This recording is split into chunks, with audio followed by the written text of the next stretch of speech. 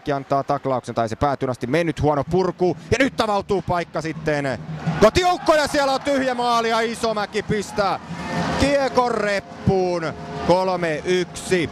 Itat johtaa kamp. Tällä hetkellä Sapkon kannalta näyttää huonolta. Aika ponneton oli meinaan tuo ylivoimakin. Siinä ei sellaista kunnon yritystä ollut ja Pekkala, Pekkala pääsee kiekkoon, mutta loistavasti siinä torjutaan, mutta ei enää tätä Häkkisen yritystä pysty kautta torjumaan.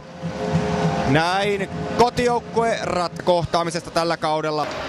Ja viivan ja kiekkoa jälleen toimitaan sinne maalin edustalle. No nyt saadaan sitten, siellä tulee kunnon koukkua ja veto ammutaan ja tyhjiin menee. Siitä Heikkilä tempaisee kiekon tyhjää maalia. Peli on 5-1. Jos siellä olisi tyhjää maalia ollut, niin tuo koukku kun reppuun.